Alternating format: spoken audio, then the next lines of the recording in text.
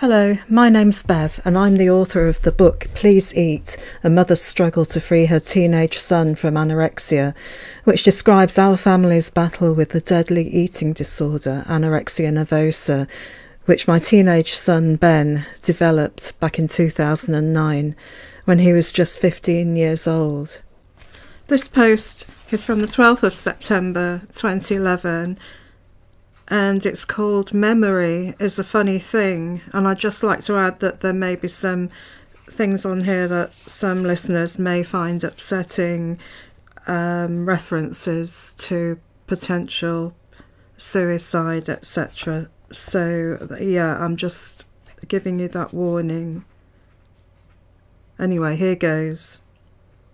It's funny how the human memory manages to forget, or at least blur, many of life's traumatic experiences. It sounds strange, but for some reason I find it really hard to recall how I really felt, day in, day out, during the bad old eating disorder days. I forget just how bad things were and how petrified I was. I forget how I came to accept that Ben might die, if not from the complications of self starvation, then by ending his own life. I forget how I used to break down in uncontrollable tears several times each day, and how on some days things would get so stressful that I'd be reduced to a total wreck like the day I smashed an entire dinner service, plate by plate, on the kitchen floor, then collapsed in a hysterical weeping heap in the corner.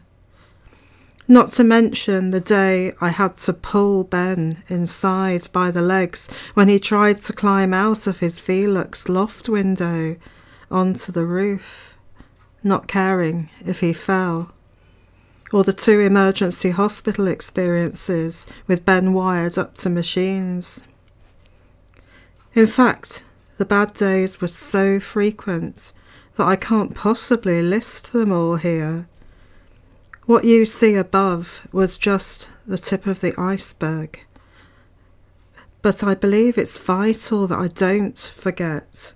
This is why I've kept copies of everything I've written on the subject emails, letters, notes to medical people, my threads on the Around the Dinner Table forum for parents of young people with eating disorders, this blog, and so on. And now some new stuff that's come to light, but more about that in a moment. In some way, I'd like to use this to help other parents of teenage boys with eating disorders if nothing else, then at least to show them that there is a light at the end of this terrible dark tunnel. And in the case of this blog post, to show that your memories of the dark days will fade.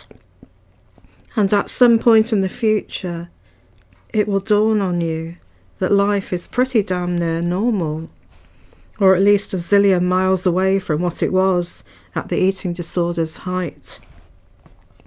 My dear friend Sheila, the school nurse, reminded me on Friday that she'd suggested back in June that I put it all into a book. Maybe I will, but I've got so much stuff that it's hard to know where to start. Meanwhile, something else has come to light, which has prompted me to suggest that Ben gets involved in all of this at a grassroots level. The other day he produced an exercise book. It was called My Diary from 2009, just to prove how far I've come since then. There weren't many entries because, he says, I got to the point where I couldn't even write. The anorexic thoughts were taking up so much space in my head.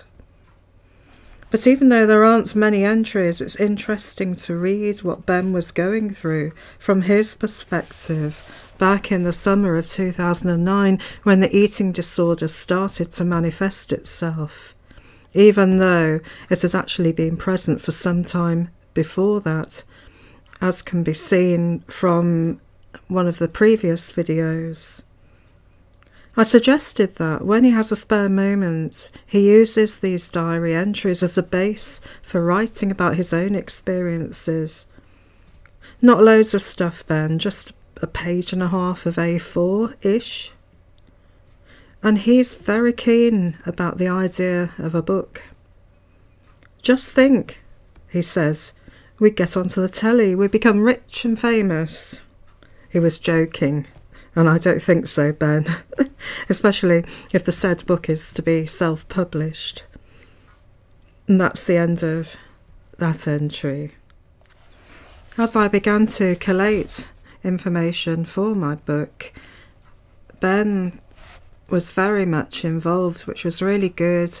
And that's why, if you read my book or you follow the intro chapters, which you'll find below in the videos below, you'll know that the book includes lots of stuff from Ben, his own perspective on what was going through his head at particular points during the eating disorder, which is actually very helpful. Anyway, thanks for listening. You'll find a link below to my blog and you'll also find a link to my website where you can download free PDFs of my blog, and also a link to Amazon where you can buy a copy of my book.